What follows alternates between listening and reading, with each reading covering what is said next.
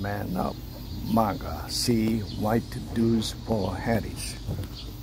A mob of white men in the thousands amassed in a show of solidarity for their presidential candidate of choice, and no violence ensued, not one broken window, makeshift noose or whip of beer spray, bear spray. But this rally wasn't for him, it was for her. White dudes for Harris hosted a Zoom fundraiser on Monday in support of the vice president and the bid to win the White House. The online event raised over $4 million through 200,000 attendees and inspired a slew of jokes.